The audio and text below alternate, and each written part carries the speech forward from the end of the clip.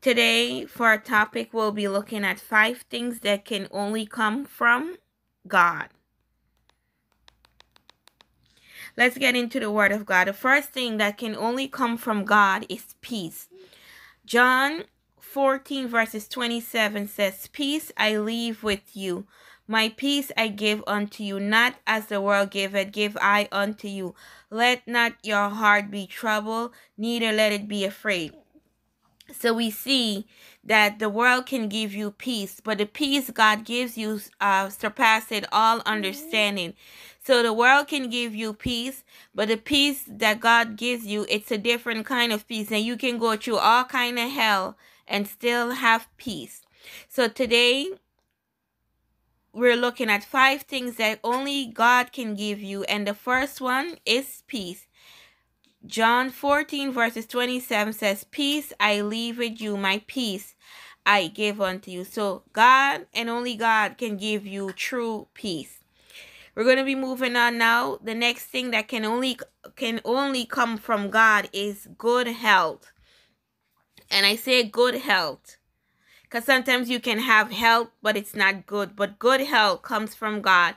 And our scripture is taken from Jeremiah 30, verses 17. For I will restore health unto thee, and I will heal thee of thy wounds, said the Lord. Good health can only come from God and God only. Man can give us stuff that can help us, but true health can only come from God. Good health can only come from God. As the Bible says in Jeremiah 30, verses 17, For I will restore health unto thee.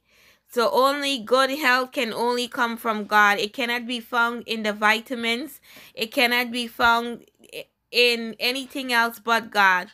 Good health comes from God and God only. Jeremiah 30, verses 17. And I will heal thee of thy wounds, said the Lord. Only God and God alone can give you good health. Only God and God alone can give you good health. Now we're going to be moving on. We're going to be looking at healing. Healing. Psalms 103 verses 3 said, Who forgiveth all thy iniquity, who healeth all thy diseases. So we see here healing men can give us stuff medicine that can help us you know but healing can only mm-hmm. come from god because sometimes and i've known so many people this has happened to they've went and they've they've trusted the doctor there's nothing wrong i believe in mm-hmm. doctors but healing can only come from god so only God can heal all. The Bible says in Psalms 103, verses 3, who healeth all thy diseases. Only God can heal all your diseases. Only God can heal all your diseases. We're going to be moving on. And we're looking now at blessing.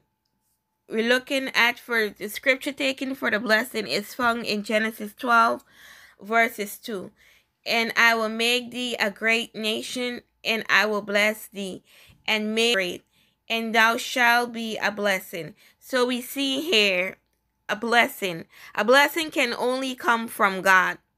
Now, people uh, can bless you, but the blessing automatically has to come from God. There's only two there's a blessing and a curse. And sometimes people can pretend that they're blessing you, but in actuality, instead of them blessing you, they're cursing your life. So a blessing comes from God. We're going to be moving on. And the last thing that can only come from God is protection. Now, the world will offer you protection. The world can give you security, uh, cameras, and all these things, but protection can only come from God. The scripture taken from Psalms 127, verses 1. Except the Lord builds the house, they that labor in vain that build it.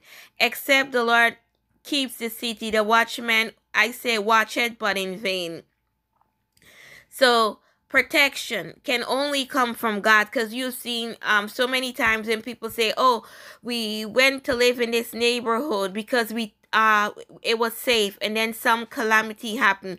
So excuse me.